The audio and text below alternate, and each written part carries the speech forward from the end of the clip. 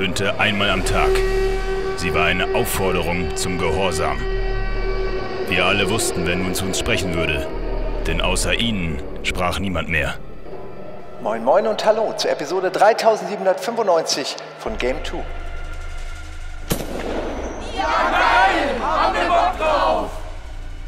Wir haben heute wieder richtig heiße Themen auf dem Zettel. Tatsächlich, Budi? Dann verbrenn dir mal nicht die Finger. Zu spät. Wirklich amüsant, Budi.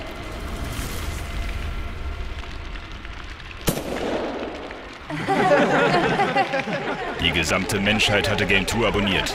Widerstand war zwecklos. Und einer von ihnen war der Schlimmste. Der schöne Micha. Dein Scherz mit den heißen Themen war ganz wunderbar, mein lieber Budi. Aber das sehen wohl nicht alle so. In Sektor 101. Du da! Vortreten! Ja, sorry, der Gag war halt scheiße. Falsch. Du bist ein alter Miesepeter. Aber du hast Glück. Ich kenne da einen Scherz. Den lieben einfach alle.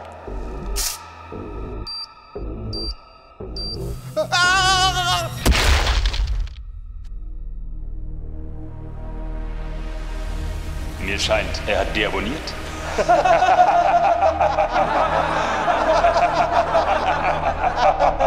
Einfach wunderbar. Das könnte ich mir stundenlang angucken. Dann machen wir das doch. Zeit für die Outtakes.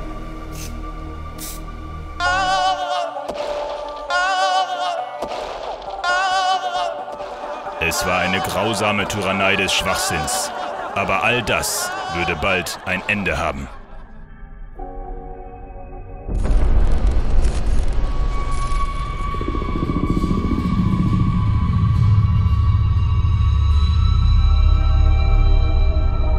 Vor zehn Jahren hatte es begonnen. Nachdem Game 2 die Macht ergriffen hatte, wurden alle anderen YouTuber verboten. Die können doch nicht ernsthaft. Stream ist verboten! Shit! Herr Newstime. Montana Black. Alle verschwunden spurlos. Und Stopp! Kamera aus! sag mal, Sie können doch jetzt hier nicht einfach. Sie haben die Pflicht zu schweigen! Und das gesamte Internet wurde gleichgeschaltet. Ja, geil. Penis. Ja, Penis. geil. Penis. Ja, Penis. geil. Das Team von Game 2 sendete ihre schlechten Witze jeden Tag. Sie sind aber ungeschickt. Und an jedem Ort.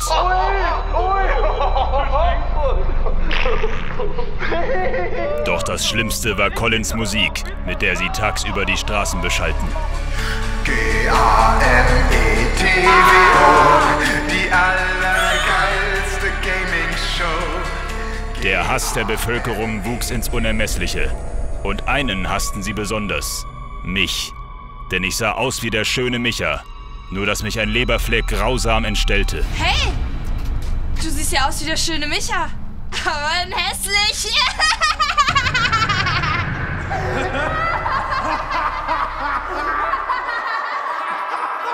Mein Leben damals war die Hölle. Und Game 2 war der Grund dafür. Ohne Dusche, ohne Deo, ohne Wechselshirt. Ich wollte mich an ihnen rächen. Doch Widerstand war zwecklos. Das ist doch Gronk. Herzlich willkommen beim Polizei Hubschrauber Simulator. Stopp! Stream ist verboten! Das ist eine mega Unverschämtheit. Du bist ein dreckiger Pisser. Es wird dir noch leid tun. Stream ist verboten! Hier, Grissenpack, knickst du Affe! Hey, jeder! Hast ein Problem? Ihr lasst Gronk in Ruhe. Karate! Schlagstock.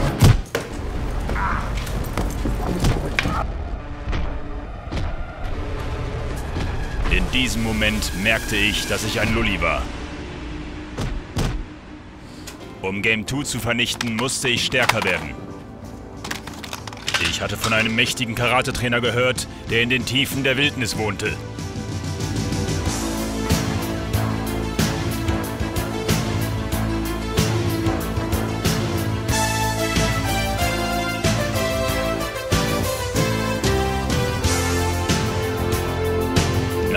Übermenschlichen, ewig währenden Todesmarsch durch tödliche Wälder und mückenverseuchte Sümpfe fand ich ihn endlich, den Karatemeister.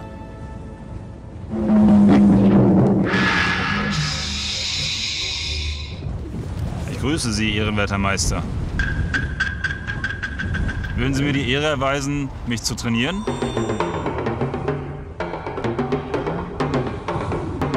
Jetzt sag was. Jetzt verstand ich. Der Typ war flink und tödlich wie ein erfahrenes Eichhörnchen. Würden Sie mich Ihre Kampfkunst lehren? Ich war gespannt auf die Lektion. In der Truhe waren Eichhörnchen. So ausgehungert waren sie wie schreckliche Bestien, bereit zum Töten. Was? Da soll ich reinsteigen? So hast du Laub gefressen oder was? Vielleicht war der Typ auch nur ein verrückter Penner im Wald. Ich war skeptisch. Okay, ich mach's.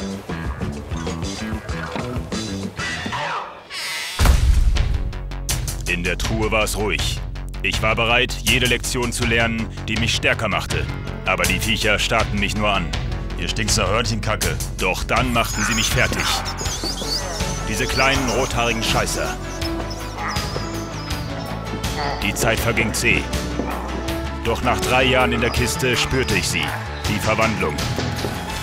Ich dachte wie sie, roch wie sie und bewegte mich plötzlich geschmeidig mit dem Strom aus Krallen. Und dann, urplötzlich, ließen sie von mir ab. Ich hatte meine Lektion gelernt.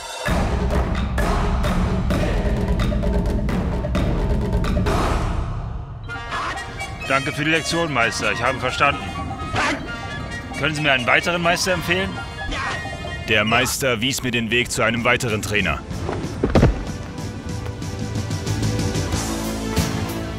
Erneut kämpfte ich mich durch den menschenverlassenen Wald.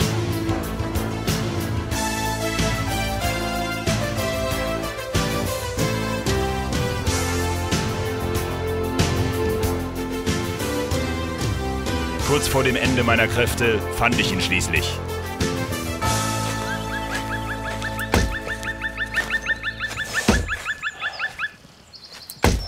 Ich grüße Sie, ehrenwerter Meister. Ich grüße Sie. Okay, offenbar sind Sie kein Karatemeister. Ich gehe wieder.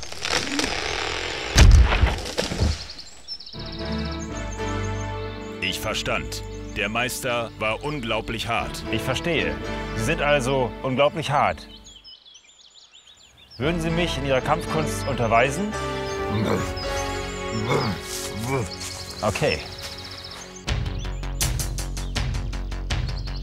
Ich war gespannt auf die Lektion. Wie war der Meister so unglaublich hart geworden? Ich machte ein paar coole Karate-Moves zum Aufwärmen.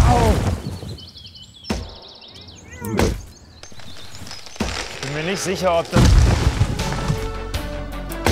Am Anfang tat es noch weh. Die Baumstämme waren unglaublich schwer. Doch dann geschah es. Nach ganz vielen Treffern konnte ich kaum noch denken in meinen Kopf. Das machte mich super hart. Ich hatte meine Lektion gelernt. Ich sagte dem Meister Tschüss und bedankte mich. Danke, Meister, ich habe verstanden.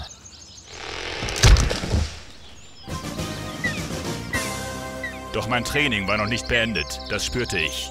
Ich fühlte mich unvollständig. Verloren irrte ich durch den Wald. Doch etwas in der Ferne zog mich an. Instinktiv folgte ich dem Pfad zu einem See.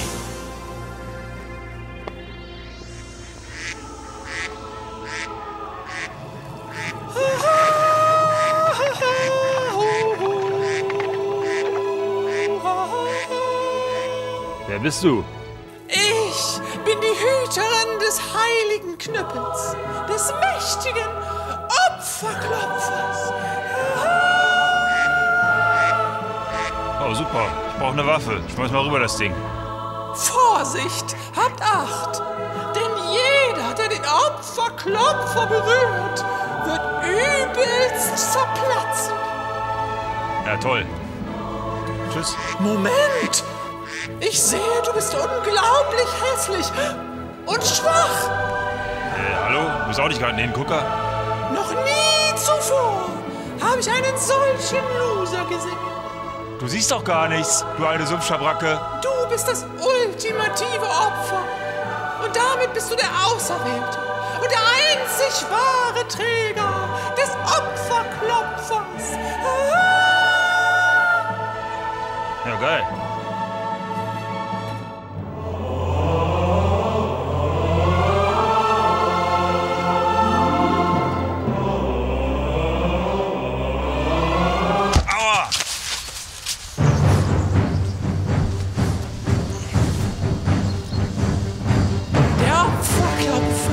Zerstört deine Mobber mit einem Streich.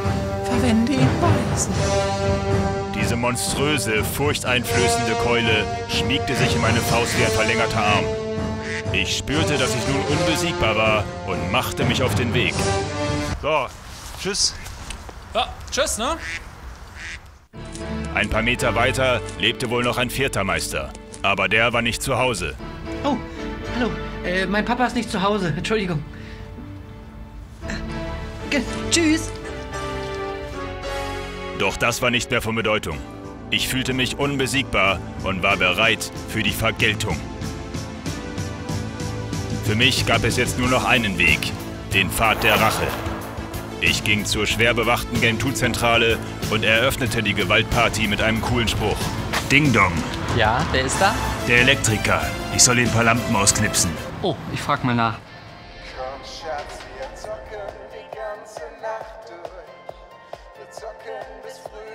Tut mir leid, keine hässlichen Menschen.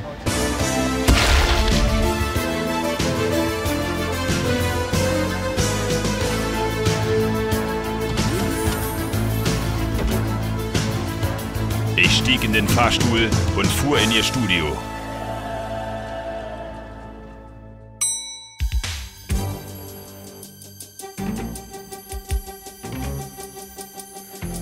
Simon und Budi.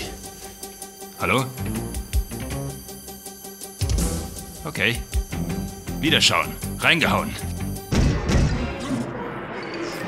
Es war eine Perversion des Lebens. Also stimmten die Gerüchte.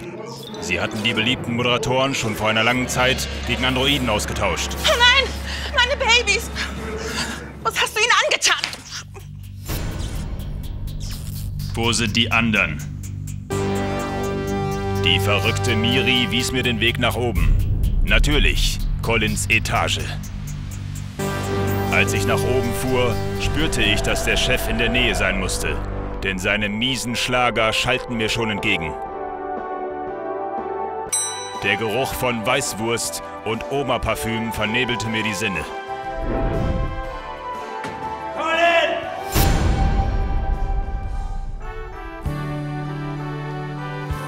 Haha, ich grüße dich, mein hässlicher Freund. Erzähl uns doch mal, warum bist du heute hier? Ich bin hier, um euch zu töten. Ja, das klingt doch nach einer Mordsgaudi.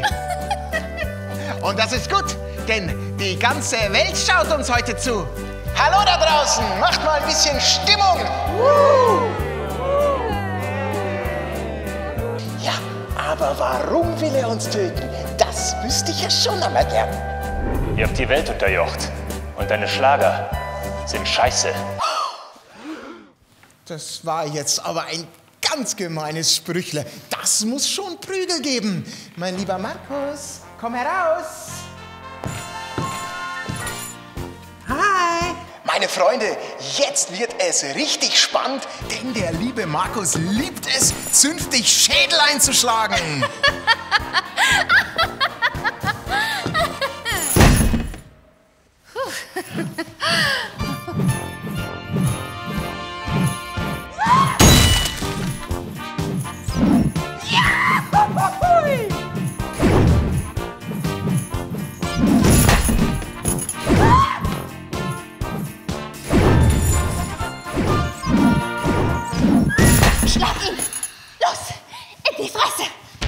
war ein brutaler Kampf. Nur durch meine unglaublichen Eichhörnchenreflexe konnte ich überleben. Doch dann erinnerte ich mich an Lektion Nummer 2, die mit dem Baum. Ich entleerte meine Geist und mein Gegner hatte keine Chance mehr.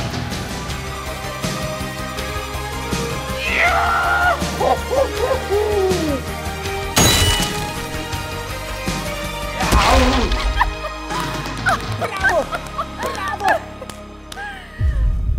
Hier der Chef, Chef, Chef.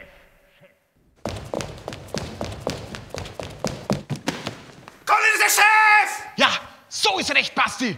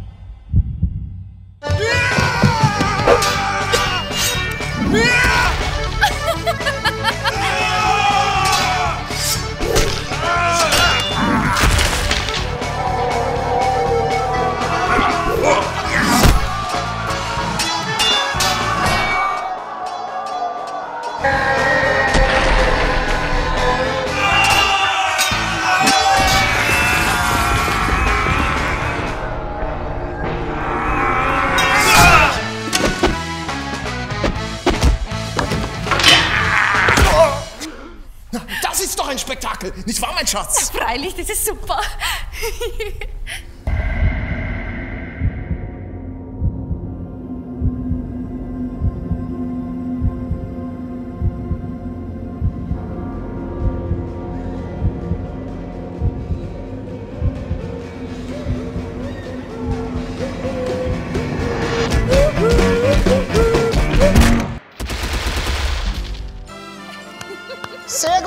hässlicher Freund.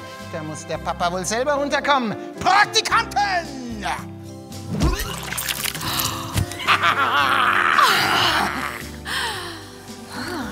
Nicht schlecht. Aber ein Praktikant schlägt niemals zurück. Aber ich, mein Lieber, doch nur mit Musik. Wie wär's denn mit Marmorstein und Kieferbricht? Wie wär's mit Ich hab dich tausendmal verbogen? Einigen wir uns doch auf. Schön ist es doch, entstellt zu sein. Nein. Fiesta Mexicana. Des Todes. Fiesta, Fiesta Mexicana, heute gebe ich zum Abschied für alle ein Fest. Fiesta, Fiesta Mexicana, es gibt wie Tequila, der glücklich sein lässt.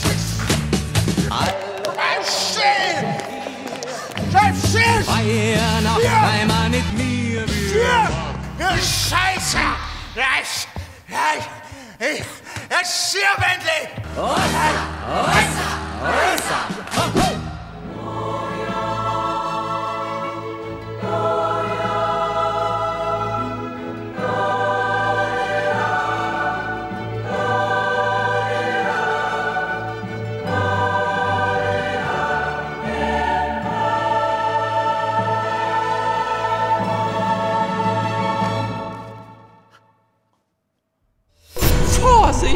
habt Acht! Denn jeder, der den Opferklopfer berührt, wird übelst zerplatzen. G-A-M-E-T. Wie tot.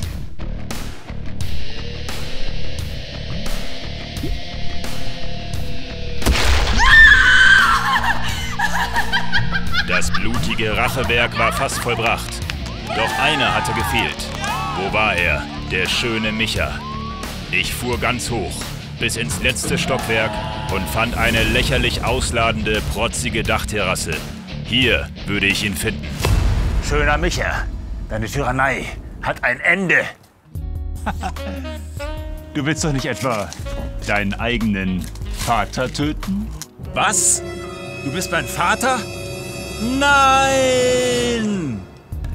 Ja, man glaubt es kaum. Aber wieso hast du mich verstoßen? Nun, also das war so.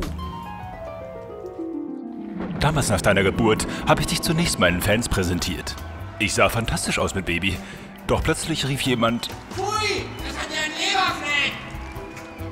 da habe ich dich das erste Mal angesehen und äh, tatsächlich, das ging ja gar nicht. Grundgütiger, Sie haben recht. Hoppala. Ja, hoppala. So, du Arschloch.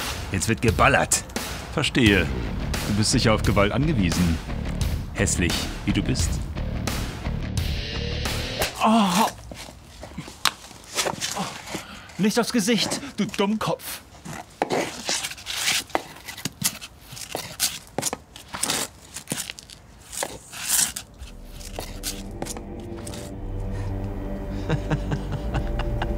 Sehr gut. Deine Hässlichkeit hat dich mächtig gemacht. Wer bist du? Ich bin der Mann vom ZDF. Die dunkle Macht hinter Game 2. Also bist du eigentlich an allem schuld. Ja. Nur durch meine schreckliche Gebührenpower konnte Game 2 alle anderen YouTuber, das Privatfernsehen und die ARD vernichten. Wieso die ARD? Tja, mit dem zweiten sieht man besser.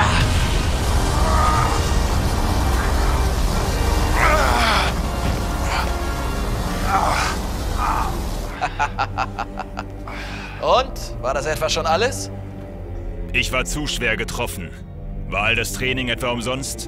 Sollte das Böse nun doch gewinnen? Ich bin Simon.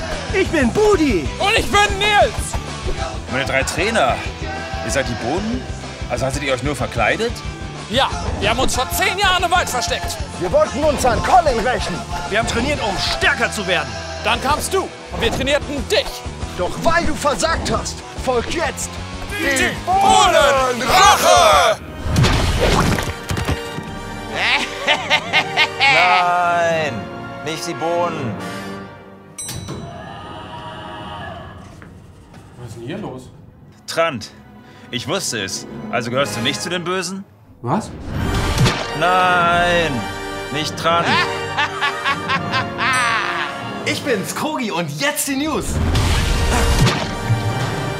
Nein, nicht Krogi. Tierchen! Nein, nicht Sophia. Oh Gott, ist das brutal! Oh Gott, es war Miriam 2 aus der Game 2 Requisite. Ich hatte sie vor einigen Jahren in Atzen Anjas Bar gesehen und hatte sie schüchtern angesprochen. Sieht ja super aus. Muss schon sagen. Das Eis war gebrochen und es war der Beginn einer großen Liebesgeschichte, die... Nein, nicht Miriam 2 aus der Requisite. Da ging sie hin, meine große Liebe. Gab es denn niemanden, der helfen konnte? Du fieser ZDF-Mann! Deine Tyrannei hat jetzt ein Ende!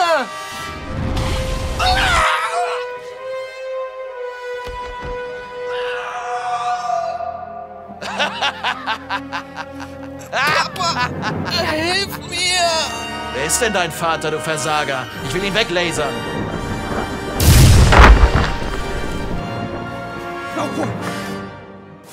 Laufwohl! Junge, was ist los? Ich, ich hab dich Was? Nein! enttäuscht. Nein, mein Sohn. Du musst immer der Stärkere von uns beiden. Was? Nein. Papa. Nein, nichts mehr sagen jetzt. Papa. Sei leise. Ich, ich Psst. Lee. Was? Lee? Was? Wer ist Lee? Laufwohl! Laufwohl! Laufwohl! Laufwohl! Lauchboy. Welch passender Name.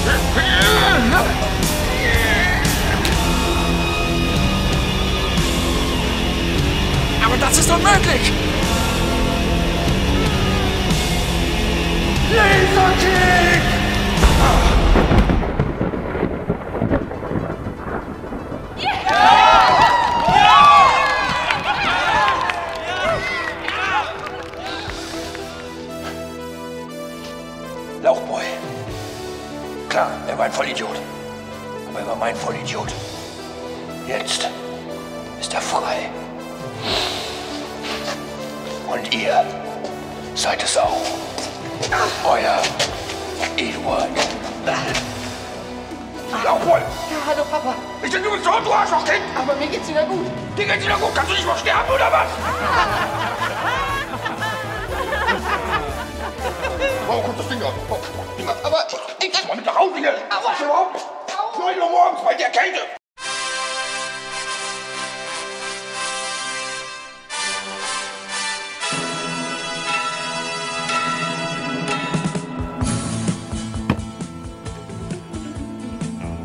Sieht ja super aus.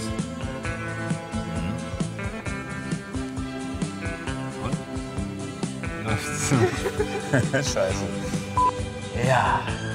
Nur durch meine schreckliche Gebührenpower konnte Game 2 alle anderen YouTuber, YouTuber, alle YouTuber sind tot. Scheiße. Papa, ich hab dich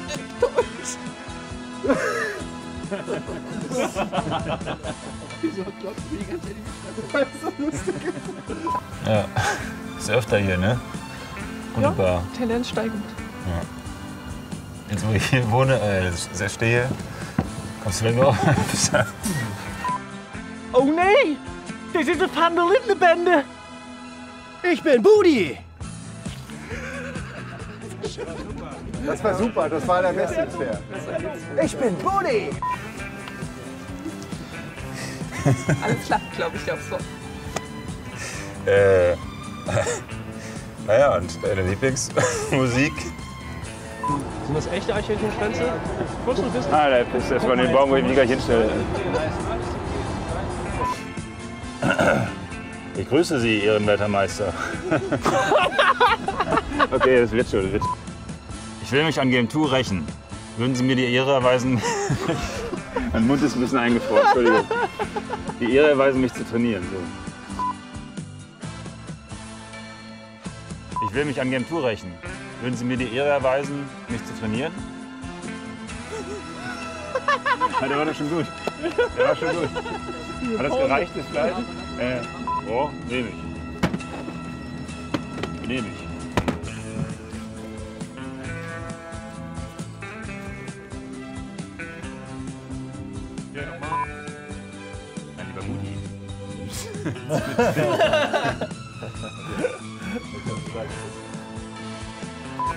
Oh, ja, ja, natürlich. Oh, echt? Ach was. Reicht, so. Der schlimmste Wörter. Was du so lachen? Ey, das müssen wir mal. Mein lieber Colin, wir haben sie. Die goldene Kamera 2019. Ha! Dann steht der Weltherrschaft ja nichts mehr im Wege!